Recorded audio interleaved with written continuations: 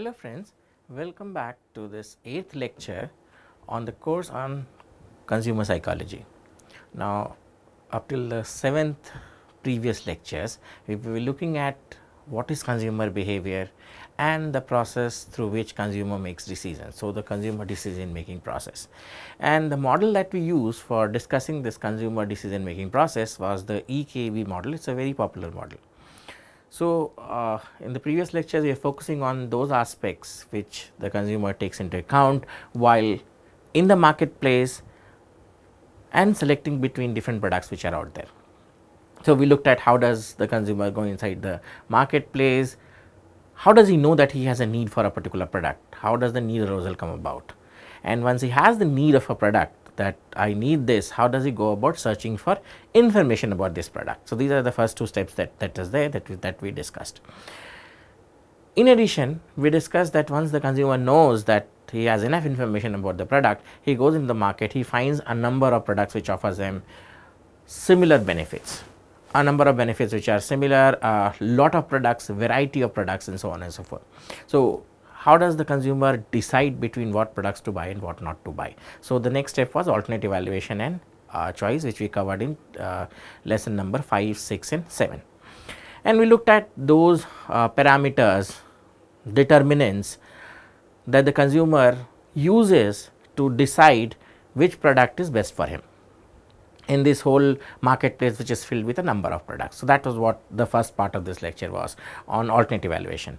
The next we looked at is the mathematical model that the consumer uses to actually decide which product to buy. So, how does he uh, uh, do the comparison? He has some determinant attribute, he, he decides some parameters, but using that parameters, how does he decide is what we looked into the next lecture. So, we looked at certain um, uh, parameters for compensatory, non-compensatory and so on and so forth.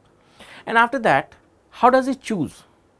The final product. That was in the seventh lectures we looked at a number of variables which affects the consumer make a final choice of what product to buy and what not to buy. And so, we looked at not only product choices, we also looked at outlet choices and that and how the consumer makes these choices and finally decides on or zooms on on particular product.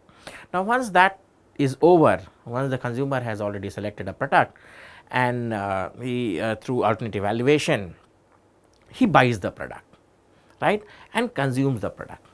So, the topic of interest of this particular lecture will be consumption process because once a consumer has a product and he goes ahead and uses it. So, how does the consumer use this product and what are the consumption situations in which way he uses this product, what are the factors which decides this consumption. Uh, so, uh, what is satisfaction with a product, what is dissatisfaction with a product and what is cognitive dissonance. Now, if you remember the EKB model and since post purchase choice and consumption is not a direct part of the EKB model because EKB model ends with the consumer making a final decision of product buying there it ends. After that comes the consumption process because once you have bought the product you are going to use it in some way, you are going to consume it and once you consume the product, once you start consuming the product or interacting with the product, a whole lot of factors affect that. Not only that a whole lot of factors affect how you consume the products, a number of situations arises out of it. And so, three probable situations that we discussed in, in the first or second lecture when we were introducing what is consumer behavior and the EKB model. And so, the, these three factors are after consumption a consumer either gets dissatisfied, a consumer gets satisfied or the consumer gets into a state which is called a dissonance, a cognitive dissonance. And now dissonance is a state where you believe something and you say something. So, it is it's a difference between what you believe and what you say and that happens because there is a change or there is a uh, slight difference between the attitude that you have about the product and the behavior that you are going to do about it. So, it is a concept in psychology which is called cognitive dissonance given by someone called Festinger. So, three different outputs after consumption of the product. So, what we will do in this lecture in this particular lecture is we will look into the first two parts. We will look into what is consumption how does this consumption really take place? What are the various variables which affect consumption of a product and what are the factors that affect consumptions, the, be it a market factor or be it a consumer factor. And then we can look at things like what is satisfaction and dissatisfaction. So, we will cover the satisfaction and dissatisfaction part in this particular lecture that if a consumer is satisfied with the product what happens, if it is not satisfied with the product what happens and so on and so forth. And then later on in the next lecture which is lecture number 9 we look into a state which is called cognitive dissonance. This is a state when you are neither satisfied with a product nor dissatisfied with the product. So, you are in a state of cognitive dissonance where you say something and you believe something and so what happens then. And towards the end of that we will look into uh, something called brand loyalty and those kind of uh, parameters at the end of lecture number 9. Now, this is lecture number 8 where we will only look into something called consumption, how does the consumption affect, what is the consumption process, variables and we will also look into satisfaction and dissatisfaction. Now, let us take a good example of what consumption is all about. So, your friends invite you on a trip on a trip abroad, let us say somewhere in Europe and you get all excited a school trip to, to Europe or, a, or a, um, a friend trip to Europe very excited. So, buy a lot of things right. So, you think it is summer and you buy a lot of things you think that Europe is all cold and you are going towards the north of it and so what you tend to do is buy uh, those uh, blankets, warm blankets, some compasses, all kind of things, uh, some Indian food to, to buy or varieties of other things. You know all kind of packaging material or all kind of things that you take abroad because this is your first trip abroad. And so you calculate you ponder upon and buy a lot of things that you want to carry to your trip abroad. Once you go there you realize that some of the things that you brought is of no use right? So some of the things you use which you take from india uh, there and some of the things you do not use so you bring them back. And when you bring them back you go to the shop. So couple of things the shop will take back, couple of things the shop will not take back. And when you have used this product, when you have consumed the products that you have brought from the market and used in Europe, some of the things you get satisfied with it and some of the things you do not get satisfied.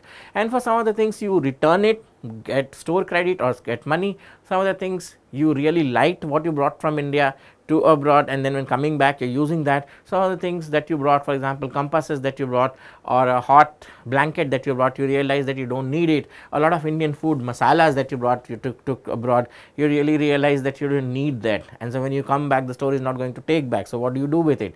You are dissatisfied with it. And so, this is a typical consumption process. This is the typical consumption situation that we will dis discussing and that is what we will be doing in this uh, lecture. So, let us start into the uh, dwelling into the idea of what is consumption and what is post purchase behavior. So, products and service consumption. So, products and service consumption basically what is the definition of consumption? So, consumption is the process, uh, the possession or the use of goods and services and the benefits that they deliver. So, any goods and services has certain kind of uh, benefits and when using that product, the benefits that you get from either some kind of goods that you buy or some kind of service that you buy is what is called consumption. So, acquiring that, acquiring the benefits or basically indulging in the benefits that the product has to offer is basically what is called consumption. Now, this consumption set is a mix of goods and services acquired and used. So, consumption generally speaking is not a one variable, it is not one product that you use because when you are using something, when you are using a, a, product, there are other products or there are related products that you use with it. For example, if you if, if it is laptop that I am looking at. So, it is not only the laptop that I am buying, I am also buying a mouse with it, a monitor with it, um, uh, not a monitor, a lap, a mouse, a mouse with external mouse, external keyboard, external hard drive, um, USB drives, some other uh, laminations or something. So, these kind of things are things that you buy with a laptop. And so, this whole goods and services that you buy with a laptop to be used and that is called a consumption set. So, those goods and services and the benefits that you are going to use is called a consumption set. So, consumption is generally not a one product, it is a whole range of products that you use. The other thing is consumption depends a lot upon lifestyle. Consumption varies across lifestyles. And so, to take a, a typical example, let us say when you are in college or when you are in school. So, when you are in school your consumption pattern is based on the lifestyle of a school and so there you are more about geometry boxes, you are more about copies, you are more about video games, Xboxes, you are more about um, board games, all kind of things. But when a lifestyle change happens, when you move out of your school or, col uh, or college and go to work or start working, these lifestyle will change and then the kind of products that you use also changes. So, it is no more Xboxes, it is more about cars. It is no more fun and games and geometry boxes, it is about valued pens and laptops and so things change. And so, as lifestyle changes, consumption also keeps on changing. So, one of the factors that marketers have to realize or even consumers have to realize is that as lifestyle changes, consumption also changes. Consumption also keeps on varying according to lifestyle. So, what are the factors which affect consumption is lifestyle. And another factor which affects consumption is the culture. Now, certain culture dictates how the consumption is going to take place. For example, there are certain cultures uh, uh, in, in the Middle East which decides what kind of clothing should women and men wear. And so, that decides what are you going to uh, where and what are you going to purchase or if you look into uh, uh, Japan there is a particular dress code for there and so people there use a particular which is called the kimono. So, you, you used to you have to buy those kind of dress dresses or those kind of things. So, with culture with places with different um, societies the kind of consumption also differs and so one of the variables one another variable which affects consumption is different cultures and different uh, lifestyles. So, these are the four things that we look into product and service consumption. Now, what is a consumption situation? The consumption situation is the physical and social context in which we actually use goods and services provided. So, once we buy a particular product, we know that several factors are going to affect it, but the context in which we are going to use it, the, the uh, physical factors, the social factors uh, in, in the context of which or around which we are going to use the product is basically called the consumption situation or comprises of the consumption situation. So, what are the physical factors? The physical uh, context or the physical factors can be time and place of consumption. So, basically the physical context could be the time and place of the consumption. It could be what time you are consuming it, when are you consuming it, is are you consuming the product right after buying, are you consuming the product after a certain kind of a delay. So, for example, ice creams, something food material, you consume it there and then itself. But then uh, buying TVs and laptops, you just do not go there and start op opening the television set and start viewing. So, after a delay you are going to use it or gifts you may never use it and so this timing is very important the physical context timing and the place of consumption where you are consuming it. it is, is it in the store that you are consuming it is it in the uh, house that you are consuming it is it somewhere else that you are consuming it for example party drinks. So, you buy a, uh, a champagne large champagne bottle for somebody's birthday now obviously you are not going to open it in, in your house neither you are going to open it in the context of the store where you are going to open it on a special day on a special occasion and so this place the time place of where you are going to use it has a lot of meaning or decides this consumption situation. With this the presence of others also gives uh, the consumption situation a social context. So, another factor or another uh, part of this uh, consumption situation is the social context. For example, who you are around when you are consuming it. Think of two situations. It could be that you go out with friends and you are dining and so the way you behave, the way you consume food will be entirely different from when you are going with your parents for buy for buying food or getting food in a restaurant. And so two different kind of dinner situations. In one situation it will be all haphazard, so no 5 course dinner, whatever you want you will order because it is friends and so it does not really have to follow in a particular manner. But with, if you are going with the parents, if you are going with a significant elder, then the 5 course follows right from soup to the main course to the sweet dish at the end of it and then something else. And so all those 5 courses that has to come will actually come across. And so people matter right? The social context whom you are around that also matters. Whether it is friend and family it is significant other it is a friend group, your acquaintance group and so that also matters and so consumption situation is also comprised of or is basically also uh, dictated by the social context. And the next thing that uh, gives importance is the consumption episode. What is consumption episode? It is defined as the set of items belonging to the same event and occurring in the temporal contiguity. So, what do you mean by what do I mean by this? Whenever I am buying a particular product, whenever I am using a particular product, it is not just one product that I am using. I am using a number of products as I, as I explained to you back to back. For example, let us take a dinner.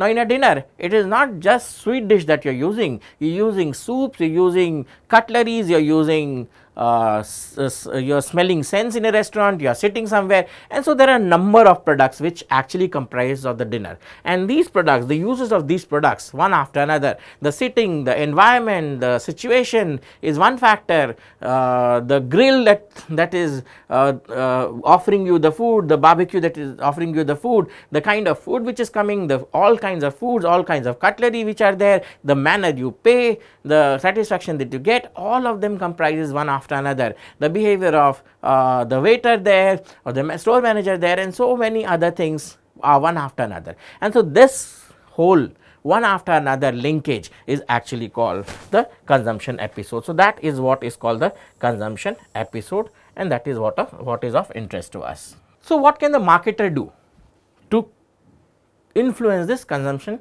uh, episode or consumption situation?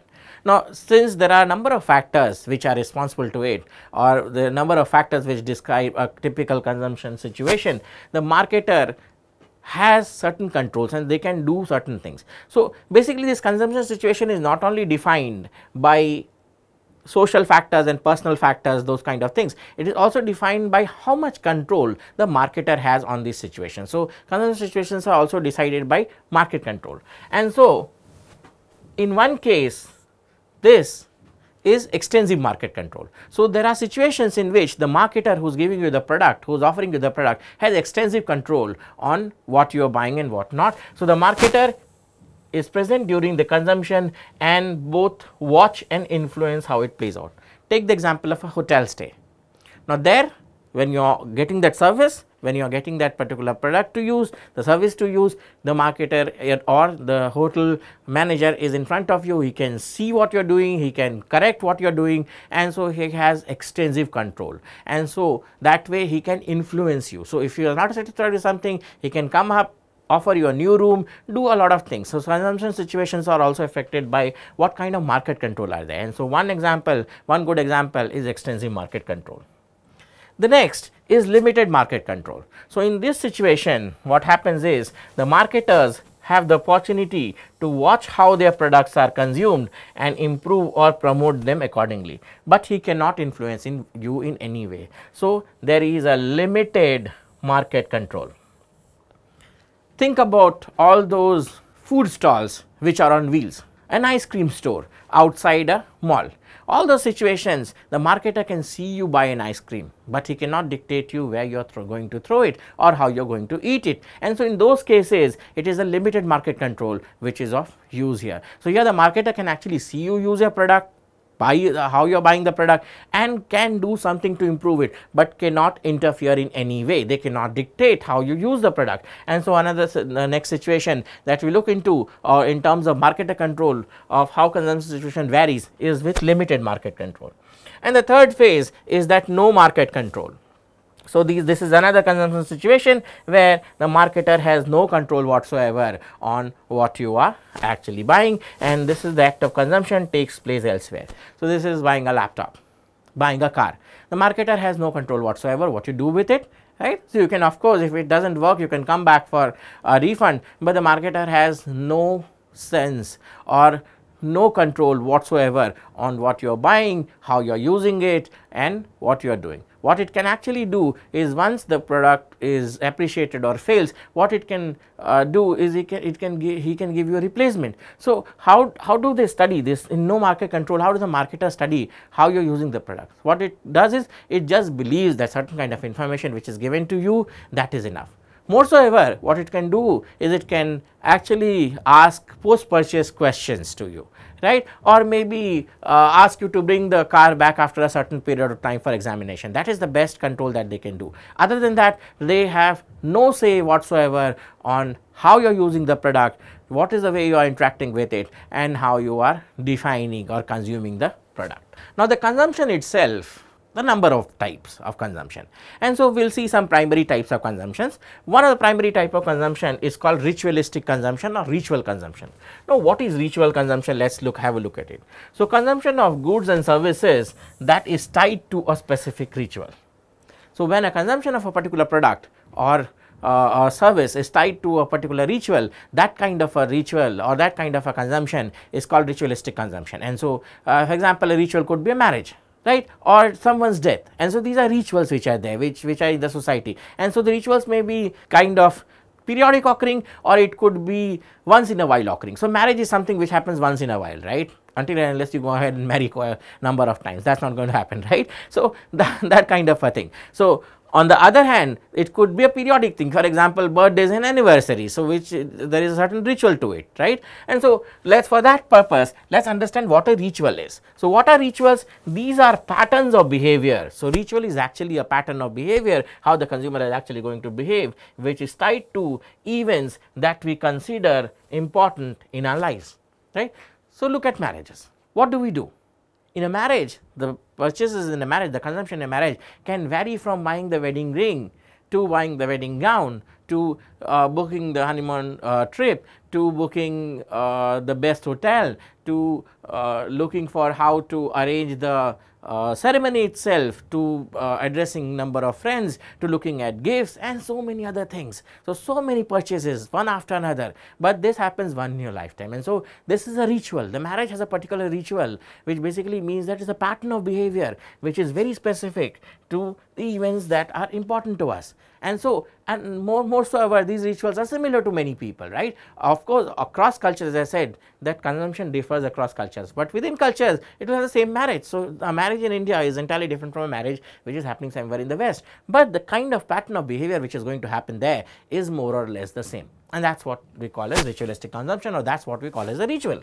So, what is important then? Why, uh, what is important outline from, from the ritualistic consumption of the marketer? The thing here is that it is important for the marketer to understand rituals and the behaviors they give rise to. Now, once a marketer is able to understand the ritualistic consumption that people one of the ways in which people do consumption is ritualistic. Once the marketer understands that and also understands the kind of behavior that he is going to do, he can promote his product. For example, there are a couple of companies which actually only cater to birthdays. There are companies which cater to uh, weddings, right? And so, the marketer there, the product offerer there has to understand in which way this ritual is going to happen and that way he can promote his particular product, particular service or particular uh, pr uh, product benefits out of it. So, one particular way of looking at consumption is called ritualistic consumption. The next kind of consumption that takes place is called the sacred and profane consumption. So, what is the sacred and profane consumption?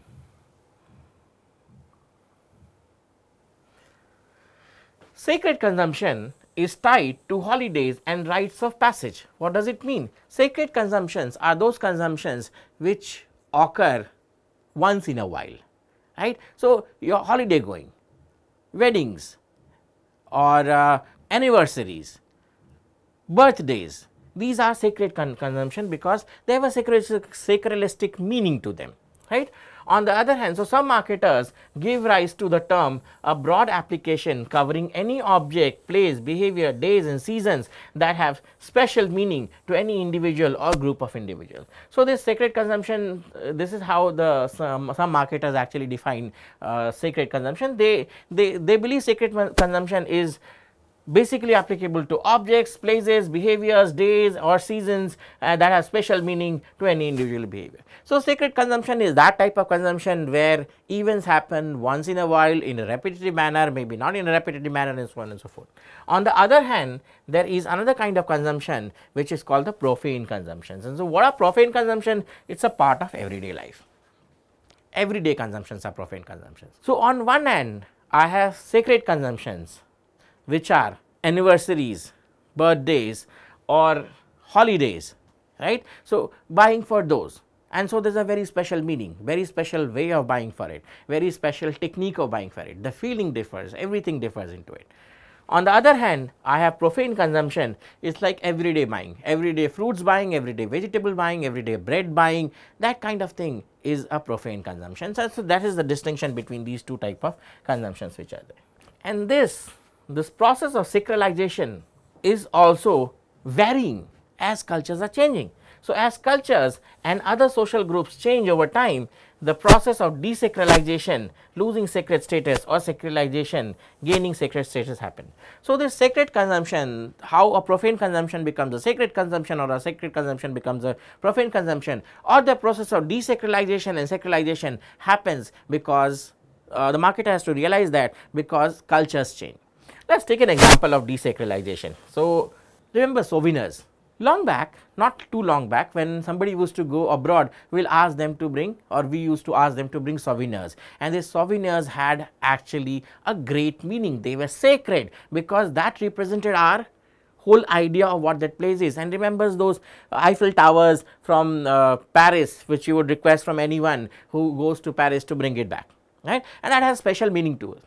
But with the opening of the market what has happened is these particular Eiffel towers are sold everywhere. And so, that sacred meaning which was attached to the fact with this particular Eiffel tower which you buy out of Paris and then you gift it to a friend that has changed over the period of time. Now, it is no more sacred or the Jewish cross. The cross is something which is meant to represent a, a, a particular religion or a particular religious faith, but nowadays you see it printed everywhere right on t-shirts people wear it on the ear and, and all kinds of things right. So, the sacralized meaning the typical meaning that it had the, the, sacredity that it had or the speciality that it had the special meaning which was attached to it is now being divulged.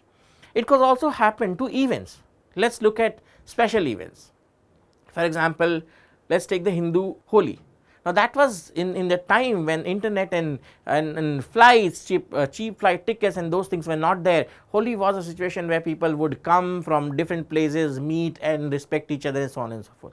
But with the coming of so many products, so many product types, so variations in societies, variation in cultures, Holi is no more that important. Why? Because it's, it's not important, Holi, it had a different meaning. It had a meaning of people coming together and enjoying. It's no more there. The meaning of color, the meaning of people meeting over a large period of time since they couldn't communicate with each other. So, when they come together, they communicate, right. Those days when letters were sent and it took time for people to write letters. Now is the day of apps which can send in messages within seconds to people. People remain connected all the time. People, you watch people having smartphones and they're communicating all the time. So, what is the need for this Holi and Diwali? And so, the, the sacralization of these holidays actually is not desacralized.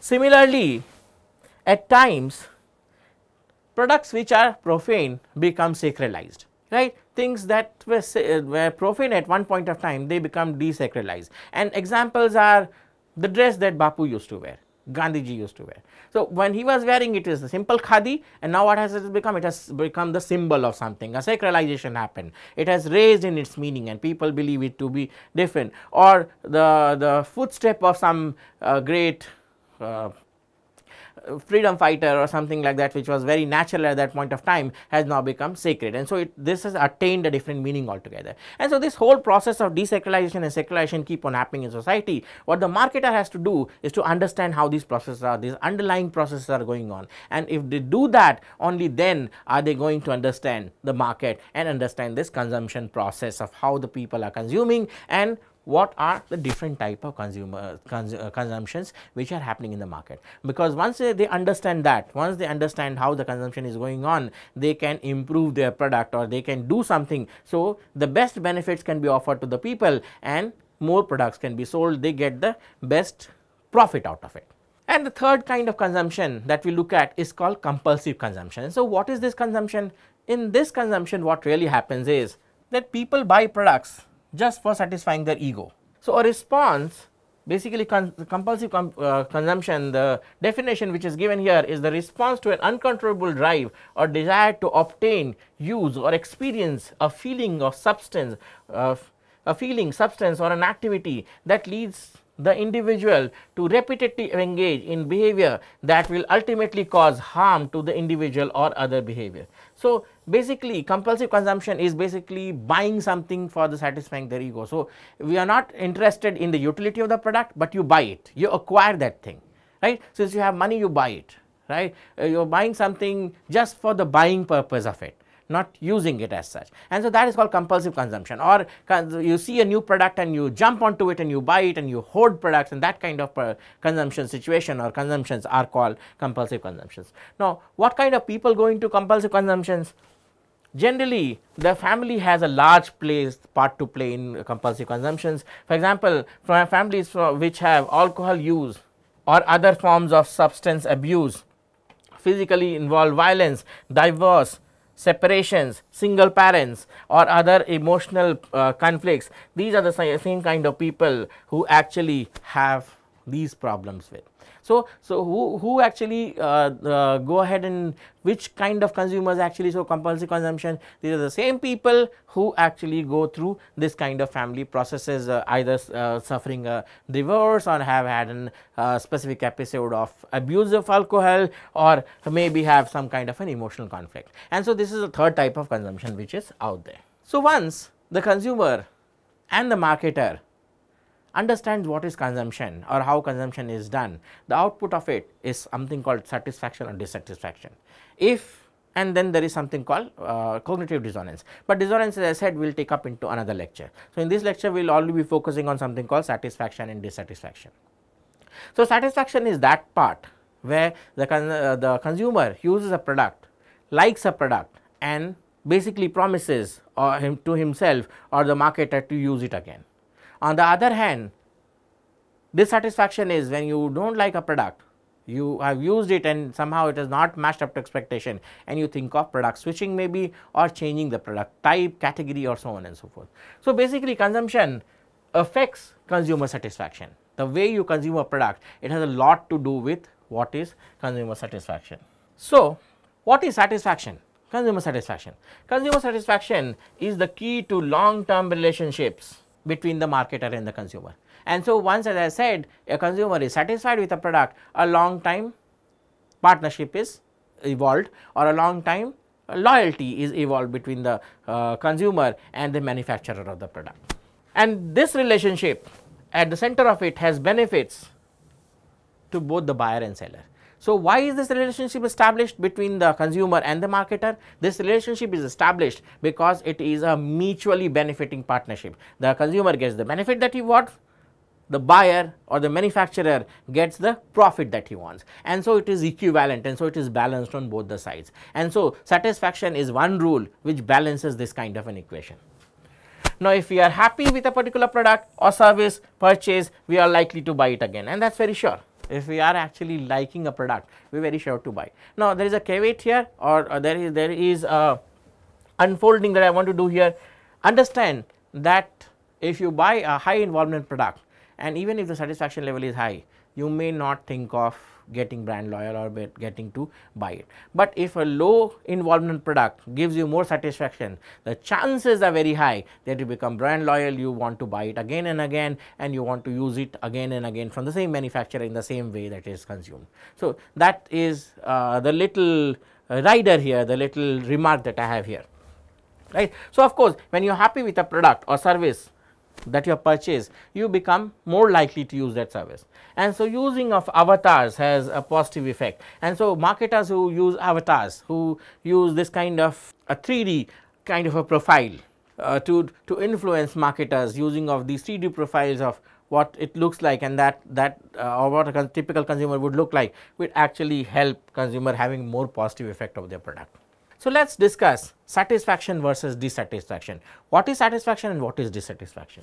So, level of satisfaction or dissatisfaction we experience depends on the perceived difference between. So, what is the difference between what we call as expectation and what we call as realization?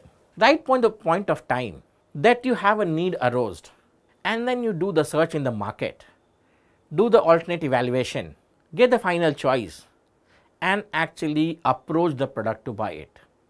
You have certain expectations from the product, right. So, you want certain benefits to be delivered to you and these expectations are there. When you use the product, these uh, expectation may turn out to be true or not true.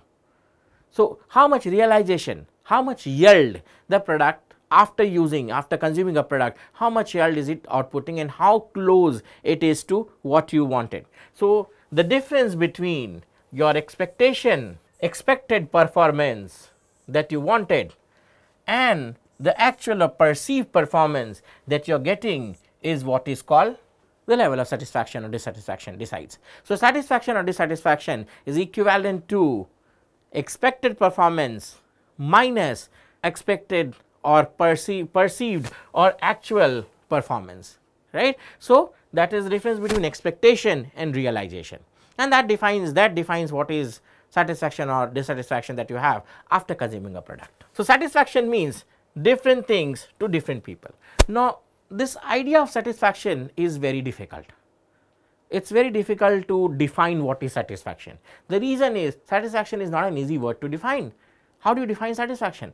And why it is not easy to define? The one reason why satisfaction is not easy to define is because different people have different meanings of satisfaction. They have their own determinants, they have their own characteristics, they have their own parameters. For some people, 5 unit or 5 characteristics in a product, 5 uh, product benefits that you get out of a product is called satisfaction. For other people, two product benefits into the product is satisfaction. For some people, 11 benefits are still not satisfaction. And so, levels vary and this typical uh, is, is this typicality is what is uh, the basis of psychophysics. In psychophysics what we tend to do is we measure how somebody says uh, or this this particular thing is also the basis of not only psychophysics, but in signal detection.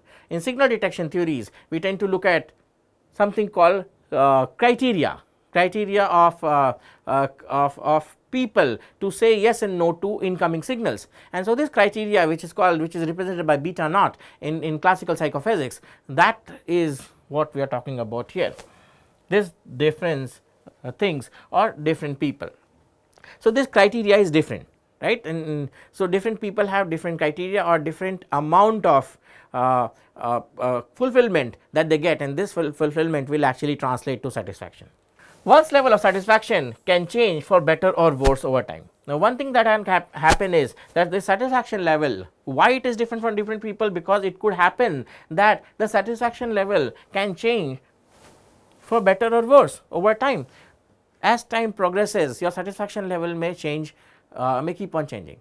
One of those people who, uh, so as a child something that you wanted to buy, you, uh, you desired more out of it and so your satisfaction level was very high at that point of time. But, the, but as you progress you realize that the, the, the, the in, in natural settings ideal products are not there and so you take it for granted that only 5 characteristics, 5 parameters it offers and that is going to be uh, how a product is going to behave and so your satisfaction level changes. So, for example, let us take shoes.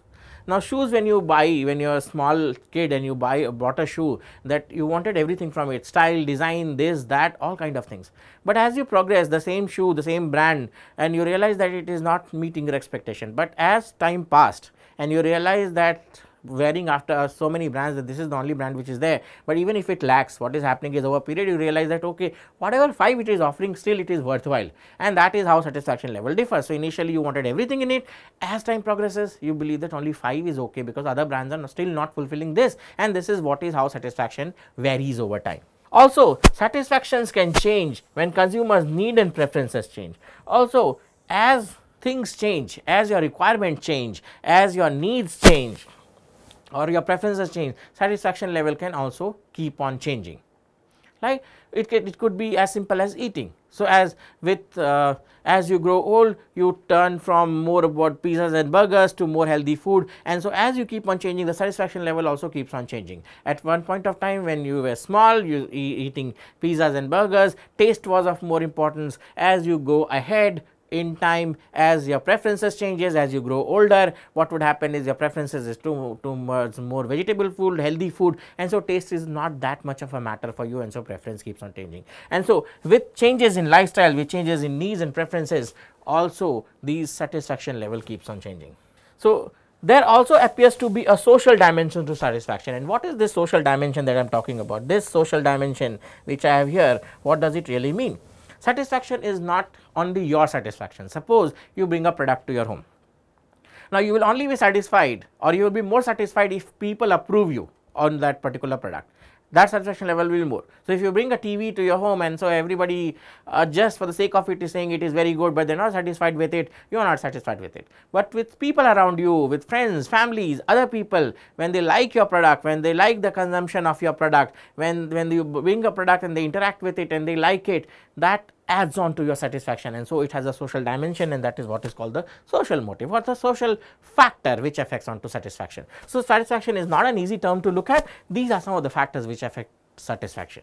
There are three components of satisfaction. What is this?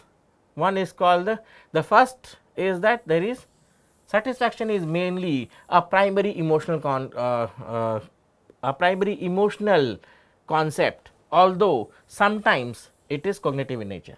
Whenever you think about satisfaction, whenever you say you are satisfied with the product, what do you do? Great, good, excellent, these are verbs, these are words which you actually use to describe satisfaction. And so, mostly these words are all emotive words, they have emotions behind it. At times, uh, it is also cognitive in nature where you where you define it is risk free kind of a thing or it is patient or, or it is uh, Mm, some other word cognitive word to express it thought process. So, it is well the product is well thought of suppose supposedly you say. So, that is the cognitive component when you are expressing, but mostly when you actually look at a product and we are satisfied with it the words emotional words come on to big and it is mo mostly the feeling associated with the product which expresses satisfaction and so it is wow how a product looks like excellent brilliant uh, amazing are the words and that is how satisfaction is defined. So, consumer satisfaction is generally an emotional thing although at times it is also cognitive. Mainly the satisfaction response when you are satisfied with a particular product you do a particular behavior out of it and this response is having a particular focus of object so, satisfaction is not generally speaking is not with the whole product as, as such the whole experience as such it is with a particular uh, it has a particular focus. So, be it the product itself that you are satisfied with its consumption the purchase decision the salesperson the store uh, the store the acquisition or so on and so forth. So, let us say you are buying a new camera it could be that using the camera is giving you satisfaction or at times it is the store from you where, where you brought it actually made you more satisfied or it could the store it could be the store person or the process of acquiring it made gave you more satisfaction where they came to your house delivered it and the process itself was more satisfactory. So, the response of satisfaction is basically has a particular focus right. So, it could be it could be that the whole product itself is giving you the satisfaction or parts of it is giving to satisfaction and so this is one of the response of satisfaction which is there. And there is the third component which is the timing of the response when is the response given? A satisfaction. You could just be satisfied by looking at a product. Or you could be uh, uh, satisfied while you were interacting with consuming the product. Or you get satisfied after consumption of the product. And so which process in the consumption of a product is or what time you actually got satisfied is of importance. So, timing of the response is also important in satisfaction uh, guaranteeing satisfaction and so these are one of the three components of satisfaction. So, what is the relationship between expectation and satisfaction? Expectancy disconfirmation is a state which is happens which comes around if realization which is the actual or perceived performance in terms of possession and use does not match the expectation. So, satisfaction what is the relation between satisfaction and expectation what you expect and what you uh, and how that relates to uh, the satisfaction is basically outlined by 3 or 4 uh, different uh, parameters or 3 or 4 different uh, concepts. And so, one concept is called expectancy discomfort. Uh, so, how closely you are satisfied with a product in terms of your expectation. So, how closely the realization of the product gives you satisfaction and the expectation that you have that is defined by 3 or 4 concepts or 3 or 4 different parameters and one parameter is called expectancy disconfirmation. And so, what is expectancy disconfirmation? This is when the realization actual or perceived in terms of possession and or use does not match expectation. So, once you use a product and you are not satisfied with it at all, this is called expectancy disconfirmation you are not satisfied with it that is called expectancy disconfirmation. But and this is called unsatisfaction or not satisfaction or uh, unsatisfied kind of a thing. But Within satisfaction also we have certain categories. So, within satisfaction we can have simple confirmation satisfaction and what is called simple confirmation satisfaction in this case the purchase performance per, uh, the purchase product performs as expected resulting in expectation. So, you bought a pair of shoes and you believe that it is going to give you comfort and the pair of shoes is actually offering you comfort this is called expected simple confirmation satisfaction. The next kind within it is called positive disconfirmation and what when does positive disconfirmation happens? occurs when performance is better than expected leading to higher levels of satisfaction. So, you brought a new camera, you expected it to work in a certain way, but when you started using it you realize that it has autofocus in it, it has auto styles in it, it has a Wi-Fi in it, it has so many other things that you always thought you wanted, but when you were considering the product you actually never considered these features into buying it. And so, when these factors are there, when the product actually performs better than what you wanted to it, better, better uh, satisfaction levels, that is called positive disconfirmation. There is another one that, that is here, which is called a negative disconfirmation. And so, what is negative disconfirmation? A negative confirmation disconfirmation is when the purchase falls short of expectation. So, you buy the product, you have certain expectation, it falls below it, but you are still using it.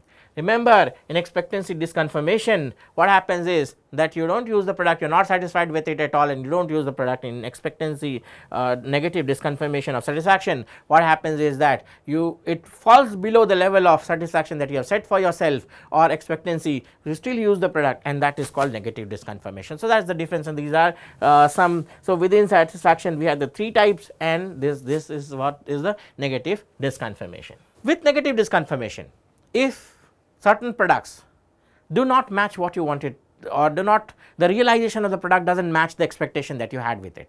So, automatically it will be negative disconfirmation. You do not like it right? And so this negative disconfirmation leads to two things. One is called contrast effect. What happens is a wide negative disparity between expectation and actual performance customers tend to magnify the poor performance so, when there is large negative disconfirmation, if there is a large parity between actual realization and actual expectation, if that is there, then even the smallest possible thing is magnified by people. When they, when so, so suppose you bought a car and the car uh, is not performing the way it should be and the smallest dent will be magnified with the highest possible say. So, when you are talking to someone describing that car you say that it is all dented everywhere whereas the car has only one small dent but what has happened is since it is not expect it is not realized the car has not realized your expectation. So, you tend to exaggerate its effects and that is called the contrast effect.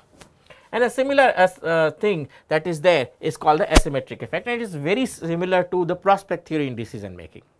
What happens here is that a consumer experiences a certain level of negative disconfirmation with the performance of a particular attribute.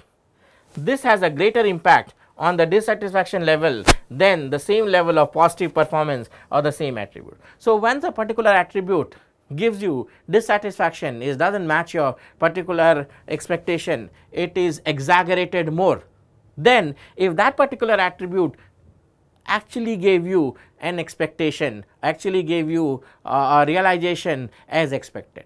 Now, remember prospect theory now in, in prospect theory what happens is that the gains that you get out of getting something the gains that you that that you get is not equivalent to the losses. So, losses are perceived with a higher slope losses are perceived as more sad losses are perceived as more uh, uh, negative than as gains and so this is an exact copy or it is basically an exact replica of what prospect theory says. So, those factors those attributes which actually discomforts which actually is not according to what you expected in a product those attributes which are not expect uh, which are not exactly uh, what you expected are tend to be perceived with a higher negative proportion than those products or those attributes when it is offering the same attribute when it is offering a positive chance or a positive variation. So, three kinds of performances any product when it gives satisfaction or dissatisfaction it is dependent on the performance of that product. So, this performance of the product can be of three types performance is ideal if a purchase perform if uh, if a purchase performs or better than expected. So, ideal performance is when you are looking for a product and that it performs the way you want it it is called an ideal performance. A performance is equitable if it is adequate for the cost and effort that the consumer has made to obtain it. So, the uh, every consumer when we buy a particular product he he looks at the cost that he is going to spend right. So, the cost in terms of money in terms of physical labor and all and so he sums it up and he expects a certain realization for those costs. Now, if the realization is more than the cost it is ideal performance is ideal. If it is just equivalent to the cost, this is called performance is equitable and expected performance, the lowest level of satisfactory performance means that although the purchase works out as anticipated, it barely quantifies as satisfactory. So, it works for you, but it is not satisfactory right. So, you bought a, camera and uh, it was uh, a cheap camera and so you knew that it is not going to offer you the kind of things that you wanted although you believe that it is going to offer you, but it just gave you certain kind of scratches it is basically uh, an expected performance. In the performance equitable terms, so you bought you wanted to buy a good camera, but you are not able to buy it, you buy a second hand camera, it has giving you some scratches on top of uh, the photos, but the photos are very good or, or according to expectation that is called performance is equitable. An ideal performance you bought a camera, it gives you the best possible output with additional features, the performance is ideal. So, what is the relationship between performance and satisfaction? Objective performance is service or product related it depends upon whether the product or service meets all the functional benefits as expected. So, objective performance the, the, the, the relationship between performance and, and, and satisfaction is, is an objective performance occurs when the service or products related uh, uh, service or product related is it depends upon whether the product or service meets so, on, on two different grounds I can define this relationship, the relationship between performance and satisfaction on an objective scale and on an effective scale. So, the relationship between the performance of a product and the satisfaction one gets out of the performance of a product to buying a particular product can be defined at the level of functionality, at the level of objectiveness or at the level of psychological variables, at the level of psych, uh, psych uh, at the level of feeling. So, in the terms of the in terms of the functionality in terms of service or product related uh, when a product or service meets the functional benefit as expected it is said to have objective performance. But when a product or service which is meets the emotional benefits of someone that is called uh, that is called effective performance and so objective performance is dependent on the product or service whereas the effective performance is dependent on something called consumers right. And so, any product when you buy it has to work on two levels on one level it has to give you objectivity it has to give serve purposes for you it has to serve functionality for you and in those cases it and, and generally this is service related because it is product related thing and so when it meets your uh, demand and it functions for you the way it is you get satisfied with it and that is called the functional benefit or that is at the functional level at the objective level it has satisfied your need. On the other end you are satisfied you could also be satisfied uh, or at the effective level of a product which is just consumer dependence. And that is when the product not only gives you the functionality, but also gives you something more than that a positive feeling of acquiring it. And that is called the functional aspect of a particular product. So, what can the marketers do to what can the marketers do to increase this uh, close the gap between expectation and performance First thing they can match the product benefit to consumer needs, understand the consumer needs, what the consumer wants and match them to what uh, to their product benefit. So, they look at the product benefits, look at what the consumer wants, uh, wants and make this realization expectation equivalence. Otherwise, there is a little point in continuing with the marketing effort. So, at times what happens is you, you know that whatever you are offering that is not uh, worth what the consumer is wanting and once for example let us look at high involvement product. So, if it is a very expensive car and uh, uh, low level consumer or I not say low level uh, middle class consumer comes in to buy that. Now, his expectation will be very high or basically you cannot match it, uh, the expectation that he has with the whatever the car has. In those kinds of things the the marketers cannot do anything. But in all of the cases when the realization that he wants and the expectation that he that the consumer has and the realization the product offers is not matching or it is at least in on some level and there is a mismatch because of some reasons they can change that reason.